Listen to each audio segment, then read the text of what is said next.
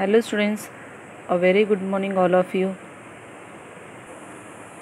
I have explained you lesson number 1 the sentences but today again I will rewind this chapter in short through this picture. It will make more easy to understand.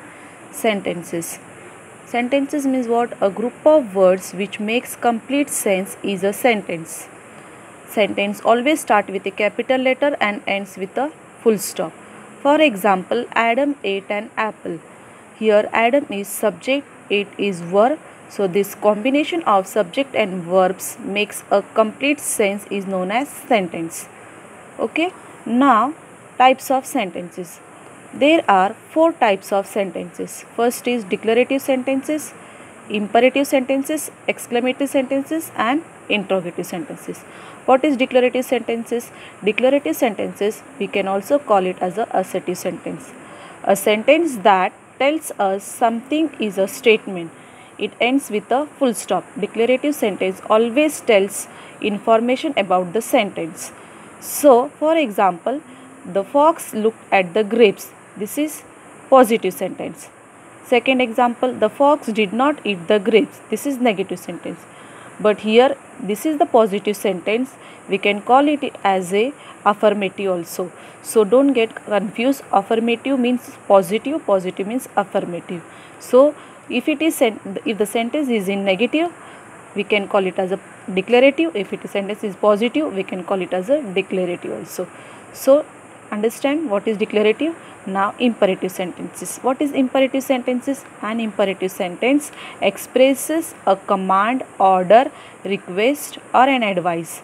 For example do your homework every day. This sentence expresses us that advising us that do your homework every day. It means this sentence advising. It is a an imperative sentence. Please give me your pen this sentence requesting you that please give me a pen. It means this is an imperative sentence. Imperative sentence always expresses command order request or an advice. Now third one exclamatory sentences. What is an exclamatory sentences? An exclamatory sentences expresses some strong feelings or ideas. Is known as exclamatory sentences. We put a mark of exclamation at the end of the sentences how beautiful is the butterfly! Exclamation mark. This exclamation mark indicates that this is exclamatory sentences. Okay. Second example, what a naughty boy he is. Again here exclamation mark. Exclamation mark shows us that this is exclamatory sentences. Now fourth one, interrogative sentences. What is an interrogative sentence? Interrogative sentence always ask a question like question mark. So we can call it as a WH type question also. WH type question means what? When, where, what. All these are WH type question. Always asking question.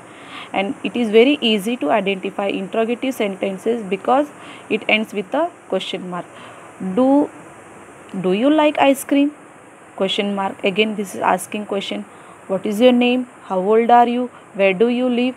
All these are interrogative sentences. Okay. Here we end the types of sentences again I will give you another topic related to the sentences that is the subject and predicate. So what is subject and predicate? We, ha we have already learned that sentences always have two parts that is subject and predicate. What is subject and predicate? We will learn in this now.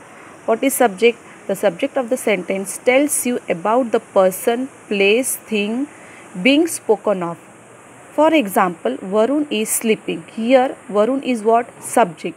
So, is sleeping is what? Predicate. So, predicate always tells something about subject. Okay. Subject always noun or pronoun. Subject always noun or pronoun. A subject can be a single word or a group of word. So here Varun is single word and my parent likes my parents like me here my parent is a group of word. So understand what is subject. Here the subject of a sentence may be a group of words may be a group of words which tells us who or what does something. In a sentence we talk about is the in a sentence we talk about is the subject. What we talk about here? Varun. Varun is sleeping. What we talk? Varun. So varun is what? Subject understood subject. So subject after the subject whatever left that is the predicate. Whatever left is sleeping is predicate. Understand? Now predicate. Predicate tells us something about the subject. So predicate tells us something about the predicate uh, something about the subject means what? This is is sleeping is what? Predicate. So this predicate tells you something about subject varun. So varun is sleeping. So varun is subject and is sleeping is predicate. Okay. Now here some orders i have given you here. Subject plus predicate. Subject plus predicate. What is predicate? Predicate means subject plus object plus rest of the sentence. Sometimes uh, sentence like adam ate an apple in the garden. So here adam becomes subject ate become verb and apple become object and the rest of the sentence here in the garden. Second example the cat caught a mouse yesterday. So the cat is the subject caught is a verb and a mouse is object and rest of the sentence is yesterday. So understood what is um, subject and predicate? So now after subject and predicate i would like to explain you phrase clause and sentence. This is also a part of sentences only. So i will explain you here. What is phrase clause and sentence? As i already explained you what is sentence now we will go for phrase and clause. Phrase and clause. Okay. So phrase First we will see the similarity between these three. Okay, the similarity is what? It is a group of word, phrase is also group of word, clause is also group of word, sentence is also group of word. These are the similarity between these three. But now we will see the difference between these three.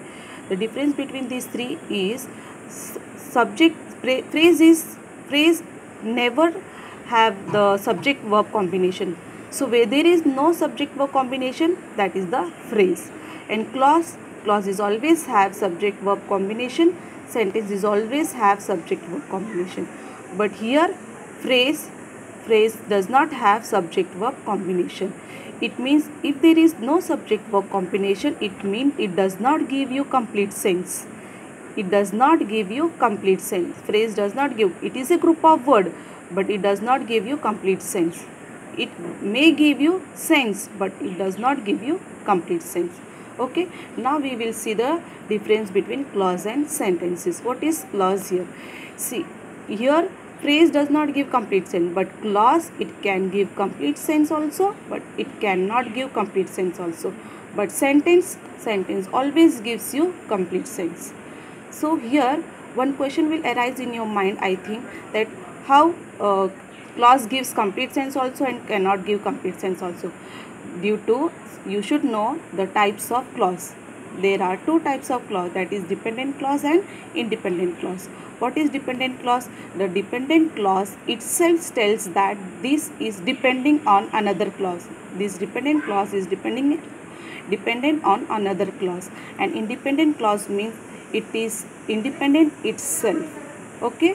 For example, I'll give you one example here. If he comes, I will help him. So here, if he comes, I will help me. This whole sentence tells that this is the complete sense. It gives you the complete sense. It is a sentence. But here we have the combination of clause. Clause. For example, here see, he is what? Subject and comes is what? Verb. So it means subject verb combination means what? it is a verb after that i will help him this is also another clause like i will help him i is subject and will help is what? Verb. So here another clause. So if i say if he comes so here i have given if he comes it means it is dependent clause. It does not make sense. If he comes if i say if he comes so you will say what if he comes? If he comes means what? It is incomplete sentence if you want to make it complete sentence you have to add another clause to make it complete. Another clause is what? I will help him this is independent clause. Understand? Difference between dependent and independent. So if you want to make complete sense you need another clause to make it complete. So here if he comes is dependent clause and i will help him is independent clause. This in uh, this complete sentence makes a sentence complete sentence make a sentence. Take another example. He met his friend on the road. Here he is subject met is verb his friend is object. The rest of the sentence is what? On the road. What is on the road? On the road there is no subject verb combination here on the road. Is there any subject verb on the road? No. So it means it is what? It is phrase. It is phrase. So understood what is phrase so another example i will give you every day is a new day. So every day is what? Subject. Okay. Is verb. And rest of the sentence a new day. So this is the complete sense. It gives you complete sense. It is a sentence. Okay. Understand? Thank you